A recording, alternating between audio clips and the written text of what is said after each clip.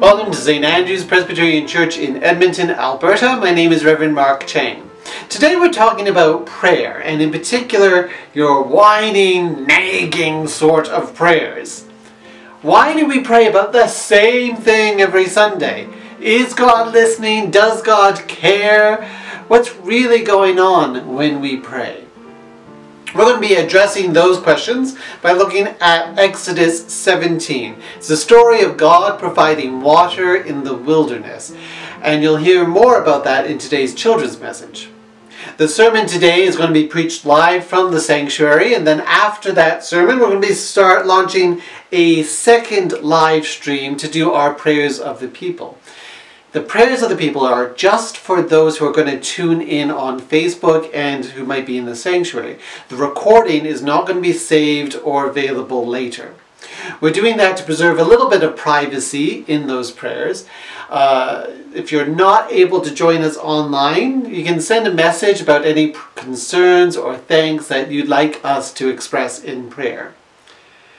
As we begin worship, take a moment now to center yourself.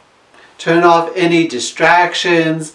Place this video on full screen. Give yourself a half hour to be still, open to God's presence. Let's pray. O God who hears the prayers of your people, listen to us now. We come to you with so many concerns on our hearts. We're worried about work, about money, about health, about relationships, about the well-being of our souls. We are stressed by the news we hear, exhausted by the pain of this world, overcome with a sense of helplessness and doom. And sometimes the only prayer we can muster is, Oh God, help. Help, Lord. Help your people, help your planet, help your church, help us. In our worship, help us to place all of these worries and fears in your hands.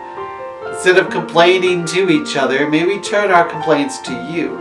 Instead of carrying the burden alone, may we trust enough to share it with you. May your Holy Spirit speak on our behalf when words fail to express our hearts.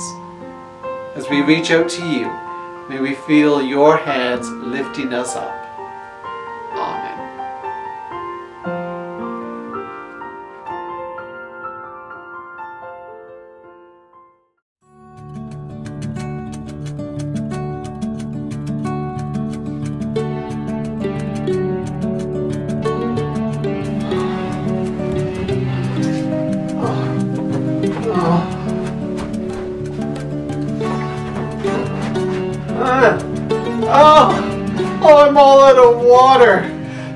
Hey kids.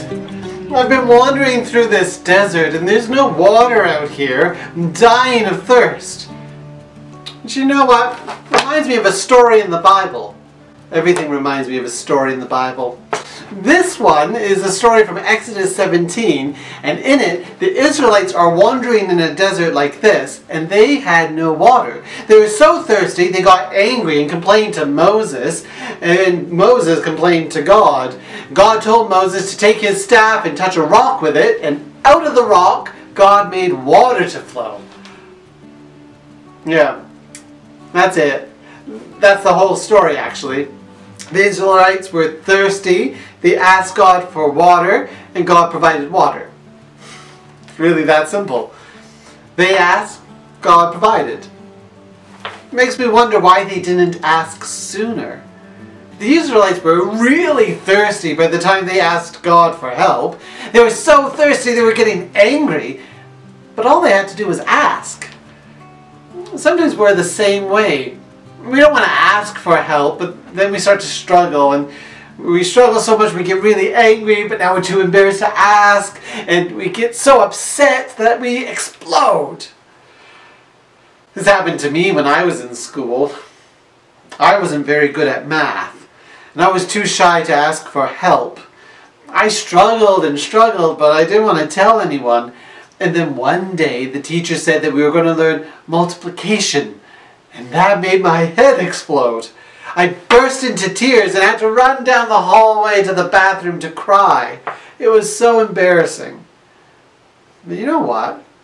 If I had just asked for help, none of that would have happened. God wants to help you.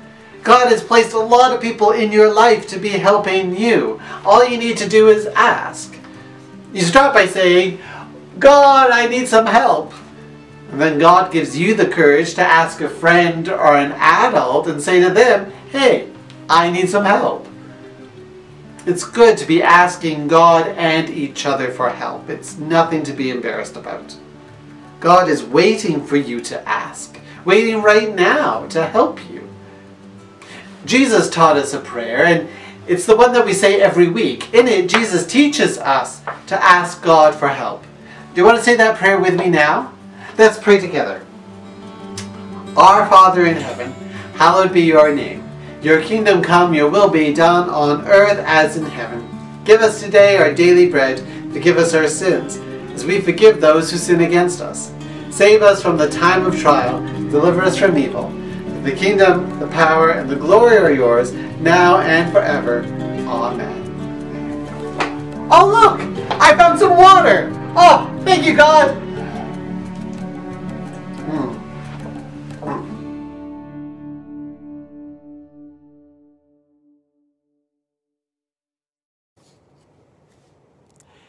Let's talk about our whiny prayers. Your complaining, nagging, belly aching prayers. The same ones that you say every Sunday morning. The ones that go, Oh God, I'm late again. Oh, why didn't I start this sooner? Oh, there's so much I didn't do yet. Oh Lord, I'm not going to be uh, done in time. Oh God, oh God, please help me not get a photo radar. Oh God, help. You know, those, those whiny prayers you say every Sunday. Well, maybe not those prayers exactly. Those might be particular to me. But you have your own. Those prayers of, God help me with this, God help me with that, like God is your personal butler. Wonder what it's like for God to get this constant stream of prayers from humanity endlessly complaining about all the same old things Oh God, help the poor. Oh God, help the sick. Oh God, stop the wars. Oh God, heal the planet. Oh God, save us from the plague. Blah, blah, blah, blah, blah. God's inbox is filled with these sort of prayers. Oh, how annoying that must be. In the past, when I read today's passage from Exodus 17, this is how I felt about it annoyed. The Israelites had just escaped Egypt. They had crossed the Red Sea on dry land. And when they were hungry, God produced manna and quail. Everything was provided for them. They saw amazing miracles. God clearly demonstrated how much God loved and cared for them. But now they're thirsty. And they start whining to Moses. Why did you bring us out of Egypt to kill us and our children and our livestock with thirst? After all God had done for them, they're still complaining? Now they need water? What's next? They want someone to carry them over to the promised land? Such whiners.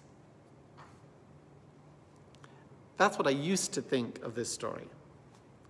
But this week, when I read it, I heard what I was saying to myself as if for the first time. They're complaining about water Water, the essential liquid of life. They didn't need Perrier, they're just looking for some sort of muddy creek, anything. They were dying of thirst. So, yeah, I'd complain about that too. As great as the Red Sea, the manna and quails, and all of that was, if they don't have water, none of that would have mattered. This isn't whining, this is essential. I'm very lucky to have never experienced true thirst in my life, but those rare times when I've forgotten to bring a drink on a long car ride have taught me that I would not, it would not take me long before I started cursing God. Of course, the Israelites quarreled with Moses. God knew that they would. So, what is God playing at? Why let them be thirsty? If God could provide manna and quail, then God could have easily placed a spring of water here and there along the way. Why did God wait till they were dying of thirst before God told Moses that he could just take his staff and touch a rock and water would pour out of it? The key part to understanding this story is to remember that the Israelites are not just on a journey across the wilderness, they are on a journey of faith. God is using this wilderness as an opportunity to teach them about faith. And I think the lesson they're learning today is that God will provide. If streams and rivers dotted the wilderness, if the Israelites never thirsted, then they would have taken their water for granted. It would never crossed their mind that God provided it.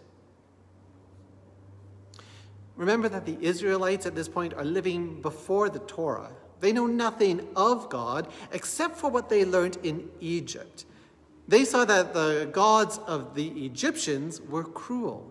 Those gods didn't care if you lived or died. Those gods demanded that you served them, you feed them, you house them, you give them tribute. Those gods were selfish and fickle and merciless. And the Israelites are asking themselves, will this God of Moses be the same as the God of the Egyptians? They're testing God because they want to know what God is like. And God's using this as an opportunity to test them too, to train them, to teach them that all they need to do is ask, and God will provide what they need. This God is not like the other gods. This is a God who listens, a God who cares. And that can be a hard lesson to learn. Those of us who choose to walk with God, we who, we who have felt called out of Egypt, called in a new direction, called in this journey of faith, we struggle with that lesson too. It can be hard to live your life as if you know from the core of your being that God cares and God provides.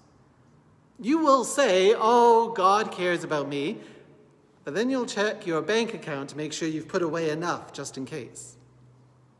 You'll say that I know God provides, but when was the last time you thanked God for a glass of water?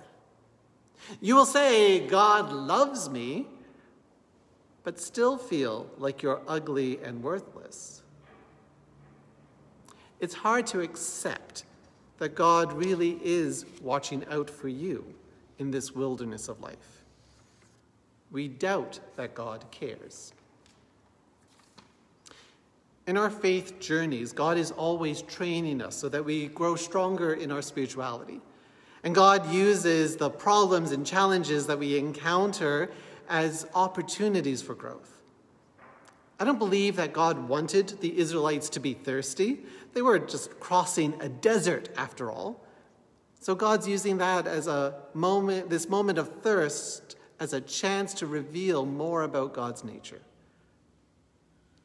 In the same way, God isn't throwing obstacles in your way intentionally or maliciously. Life is a struggle, and you're pretty good at finding troubles on your own. But God will use the problems you stumble into to teach you how to reach out, how to ask for help, to show you that God does listen and God does care. Even if your prayers are nothing but complaining, God hears every complaint and cares about them all. It's Moses who was annoyed by the Israelites complaining. God never was. God wanted to hear it. Every week I have the same prayers. Oh God, what am I going to preach about next Sunday? Oh God, I should have started work on this sooner. Oh God, I'm going to be late again for church. It's a weekly struggle for me, but it's also a weekly reminder, a humbling reminder that I live by the grace and mercy of God. I'm sure you have your weekly complaints and desperate pleas too. For a lot of us right now, it's often about job security. We're praying daily that we'll have a job tomorrow. This pandemic has made a lot of our futures uncertain. And every time you pray about that, God builds in you a little more spiritual muscle that prayer of, help me find work, help me keep working, builds in you more gratitude, more trust, more awareness, more sensitivity, more compassion. Or maybe you've been praying about your health. And every time you do, you reflect a little more on this precious gift of life. You wonder at the miracle of our bodies. You grow more compassionate towards the pain of your neighbor, more patient with yourself, and grateful for the help of others. You're not whining, you're not being needy. Those prayers of yours are not annoying to God. And even if your prayers are nothing but complaints, God wants to hear you complaining. The act of praying itself helps to change you. Every week in our prayers of the people, we end up praying about the same things. There's often a prayer for natural disasters, there's wars and conflicts. We pray for a lot of health concerns, and at St. Andrew's, often about mental health and addictions. Because it's almost the same thing every week, you might feel like we're nagging God or whining. But it's not. It is important that we keep turning to God every time we face these issues. That prayer, even if it's an angry complaint, helps to change our perspectives. It's a spiritual exercise that strengthens our souls. It moves us to be more loving. It prompts us to action. It reminds us ultimately that God is in control, that God cares and God will provide. The pandemic is not going to end because a handful of Christians from St. Andrews in Edmonton prayed about it one Sunday. But when we pray persistently about it, we find the strength to face this pandemic, to help lighten the load for others. Through our nagging, whining prayers, God slowly changes us, and through us, changes the world. The next time you're thirsty, complain to God about it. The next time you're hungry, tell God. You have a little ache in your back, whine about it. Moan towards the heavens at every inconvenience. Let God hear your frustrations. We hold back too much. We think, oh, this is nothing. I don't need to bother the creator of the universe about it.